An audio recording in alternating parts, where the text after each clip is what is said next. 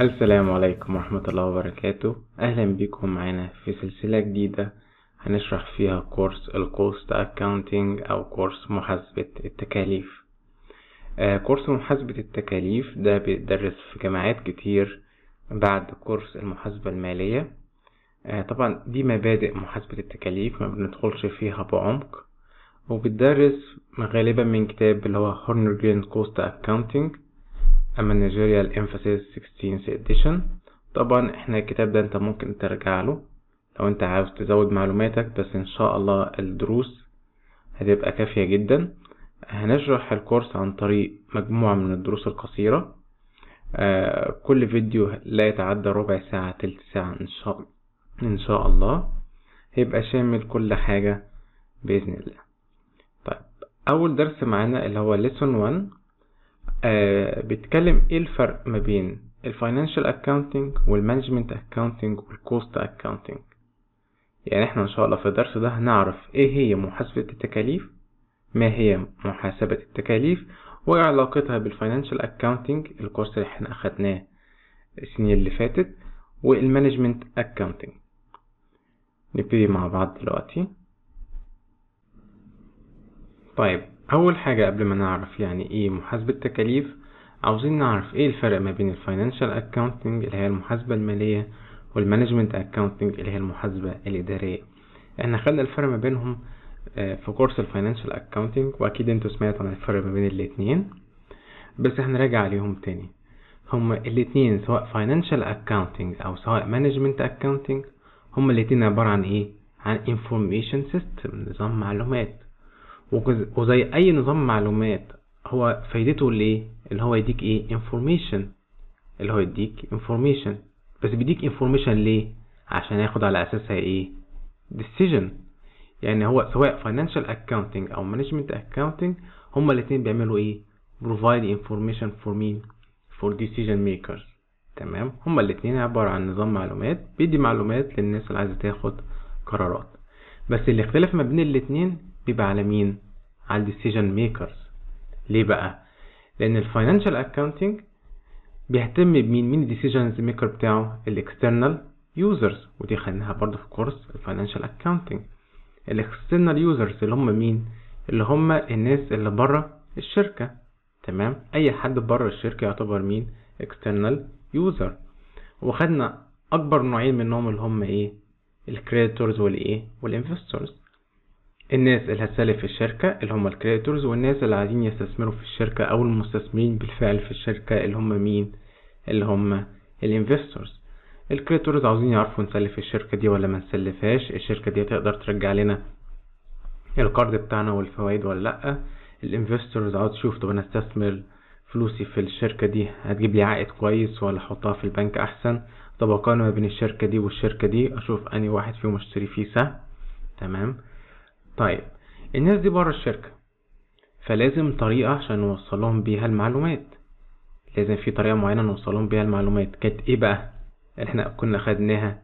كانت أساس أو يعتبر ال output بتاعت ال financial accounting اللي هي الايه ال financial statements عشان كده في ال financial accounting أول حاجة بتدرس في كورس ال financial accounting اللي هي الايه ال accounting cycle لغاية ما تطلع الايه ال financial statements اللي هي الايه القوائم المالية. تمام؟ طيب ال financial statement دي بيستخدمها مين بقى؟ بيستخدمها ال creditors ويستخدمها ال investor عشان يبني قراراتهم عليها. طيب هو ال creditor وال investor مهتمين بالشركة دي بس ولا ممكن يكونوا مهتمين بكذا شركة؟ هتقولي أكيد مهتمين بكذا شركة وعايزين يقارنوا ما بين الشركات دي كلها.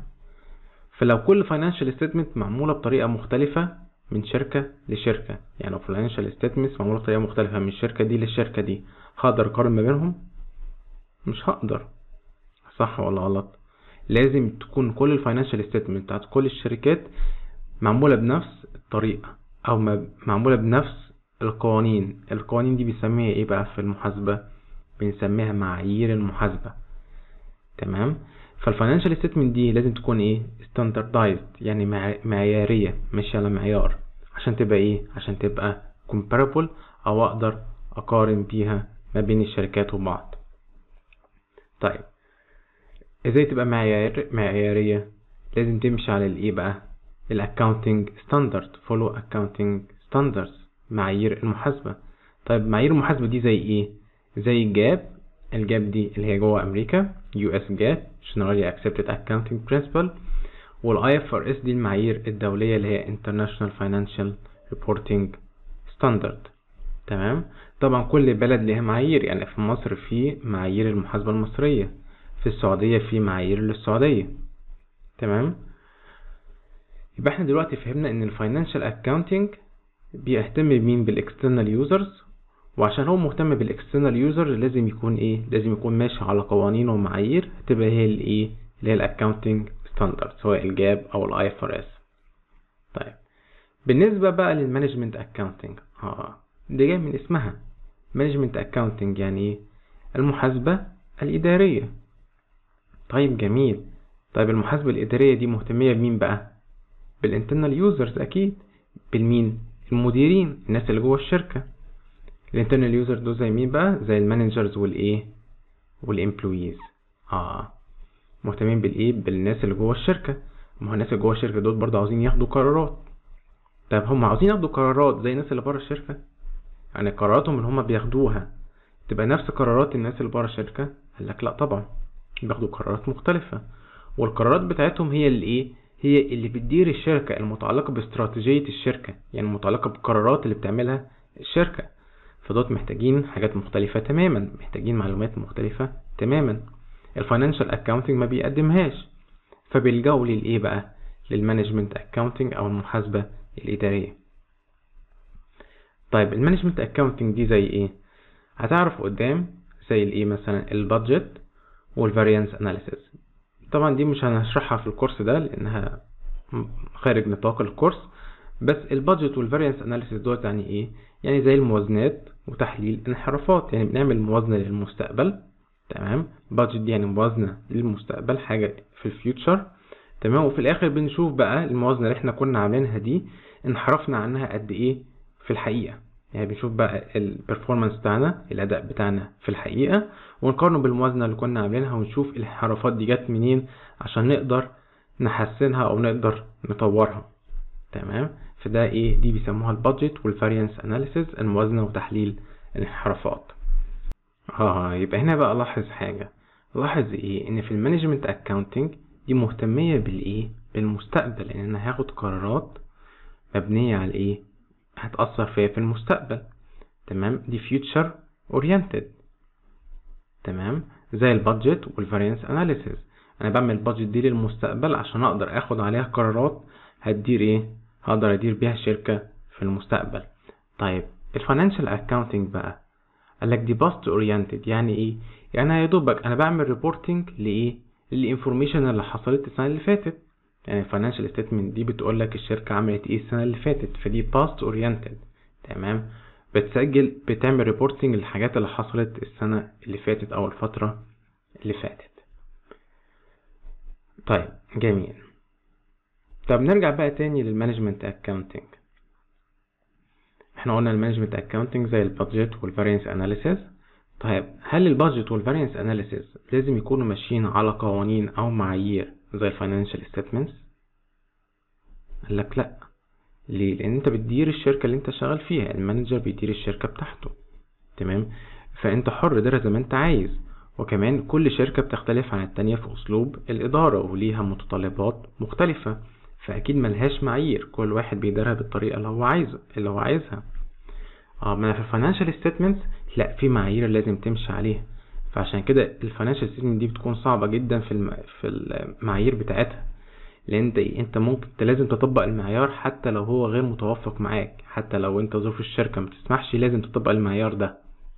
لازم تطبقه وأنت بتعمل financial statement اما أنا في ال budget وال variance analysis أنت حر اعمل اللي أنت عايزه.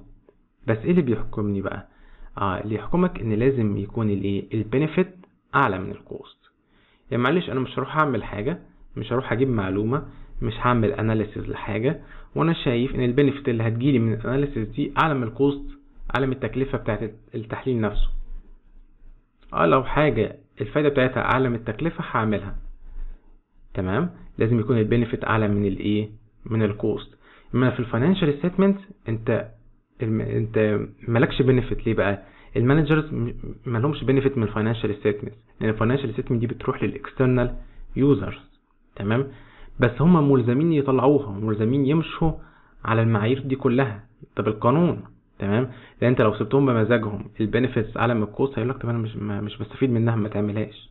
بس ده مش بمزاجهم. ليه؟ لأن أنت عاوز تروح لل external users عشان يقدروا ياخدوا معلومات عن الشركة. من جوه الشركة انت حر اعمل اللي انت عايزه. الحاجة اللي بتستفيد منها إيه؟ اعملها. آه طب جميل. طيب. أنا قلت لكم بقى ال management accounting ده دايما مهتم بالإيه بقى؟ بالقرارات بتاعت الشركة. تمام؟ فبالتالي هتلاقيه مهتم بالاستراتيجي. الاستراتيجية بتاعت الشركة. تمام؟ دايما ال... الناس اللي هم في ال management accounting دولت اللي بيحددوا استراتيجية الشركة وبيديروا الشركة اللي بياخدوا القرارات اللي بتاثر في الشركة مستقبلا. تمام؟ فعشان كده هتلاقي الناس اللي هم في ال management accounting إيه بقى develop و communicate و implement strategy هم اللي بيعملوا استراتيجيات. تمام؟ هم اللي بيوصلوها للناس اللي تحتيهم. هم اللي إيه؟ اللي بياخدوا القرارات اللي تطبق الاستراتيجيات اللي هم طوروها دي. في أمريكا طبعا ال financial accounting ال financial accountant أو المحاسب المالي ده بي بيسموه CPA تمام؟ بيمتحن وياخد شهادة CPA اما ال management accounting ده بيس ال management accountant ده بيسموه CMA بيمتحن وبياخد شهادة CMA فاللي مهتم منكم إن شاء الله بال financial accounting يطمح اللي هو يكون إيه؟ CPA أو certified public accountant اللي عجبته ال management accounting وال cost accounting اللي سندخل فيها دلوقتي ده يروح يمتحن إيه بقى؟ ياخد شهادة ال certified management accountant طيب جميل. انت دلوقتي إيه شرحت لنا ال financial accounting وال management accounting بس إحنا الكورس بتاعنا مش ولا على ده ولا على ده. الكورس بتاعنا على الايه على ال cost accounting طب قول لنا يعني إيه بقى cost accounting يعني إيه محاسبة تكاليف؟ آه. شوف معايا بقى. ال cost accounting دي accounting information برضو accounting information system نظام معلومات. بس ال information اللي بيطلعها بيديها لمين بقى؟ بتروح لل financial accountant وبتروح لل management accountant يعني المعلومات اللي هو بيطلعها من ال cost accounting بتخدم مين؟ بتخدم على مين؟ بتخدم على المحاسب المالي وبتخدم على المحاسب الإداري. إزاي؟ هقول لك. هو ال cost accounting دي محاسبة تكاليف. يبقى بالبديهي كده بنطلع منها إيه مثلا؟ إيه من المعلومات اللي ممكن نطلعها منها؟ اللي هي الإيه؟ ال unit cost نعرف فيها تكلفة الوحدة من المنتج بتاعنا. تكلفة الوحدة من المنتج. آه أنا مثلا بنتج عربيات أنا عايز أعرف العربية متكلفة عليا كام؟ فده بيسموه ال unit cost طبعا هنعرفه في الدروس اللي جاية إن شاء الله. طيب لما أعرف ال unit cost ده إيه اللي بيحصل؟ ال financial accounting هيستخدم المعلومة دي. المحاسب المالي هيستخدم المعلومة دي. هيستخدمها في إيه؟ هيستخدمها اللي هو يحسب الايه؟ ال cost of good sold اللي هو بيحطها فين؟ في ال income statement طيب أنا هعرف منين؟ تكلفة البضاعة المباعة لو أنا معرفش ال unit cost ما هي ال cost of good sold دي لو نفتكر كانت موجودة فين؟ في ال income statement لما قلنا sales revenue minus ال cost of good sold بيديك الايه؟ ال gross profit أو ال gross margin. طيب ال cost of good sold دي تكلفة البضاعة المباعة طيب انت هتجيبها هتجيبها منين؟ انت لازم تحسب ال unit cost وتشوف انت بعت قد إيه فتضرب ال unit cost في الايه؟ في الكمية اللي انت بعتها. يطلع لك ال cost of good sold. طب ال unit cost دي هنجيبها منين؟ هنجيبها من الايه؟ من محاسبة التكاليف. طيب المحاسب الإداري ال management accountant هيستفيد إيه بال unit cost؟ هيقول لك طب ما أنا إزاي هسعر المنتج؟ ما أنا لازم لازم إيه؟ لازم أعرف تكلفة الوحدة قبل ما أسعر المنتج. فقال لك هو the pricing of the product depend on the إيه؟ on the unit cost. تسعير المنتج بيعتمد على الإيه؟ تكلفة الوحدة. آه فال cost accounting دي بتدي information بتخدم مين؟ ال financial accounting والايه وال management accounting طيب. آه دي كانت الخلاصة. ما بين الفرق ما بين الايه؟ ما بين ال financial accounting وال management accounting وعلاقة ال cost accounting بيهم. بس غالبا هتلاقي إن ال cost accounting مرتبطة أكتر بال management accounting تمام؟ لأن هي علاقتها علاقة ال cost بال financial accounting بسيطة جدا تمام؟ فهتلاقي معظم الكتب بتشرح ال cost accounting مع الايه؟ مع ال management accounting بيلضموا الاتنين في بعض تمام؟ هما الاتنين مرتبطين أكتر ببعض. طبعا في بعض الجامعات بتقول لك اسم شيك كده تقول لك إيه؟ تقول لك cost management cost management دي يعني ملهاش معنى بس هي إيه؟ بيربط بيربط ال cost بال management هي يعني بيشرح برضه ال cost accounting وال management accounting تمام؟ بس هو بيدي اسم شيك عشان يجذب الناس يعني. وبكده نكون خلصنا مع بعض أول درس اللي هو ما هي محاسبة التكاليف أو إيه هي محاسبة التكاليف وعلاقتها بال management accounting وال financial accounting أتمنى أنكم تكونوا فهمتوا الدرس ده وإن شاء الله في الدرس اللي جاي هناخد ال cost terminologies أو مصطلحات محاسبة التكاليف ودي هتبقى أساس محاسبة التكاليف مستقبلا إن شاء الله. أشوفكم في الفيديو اللي جاي. مع السلامة.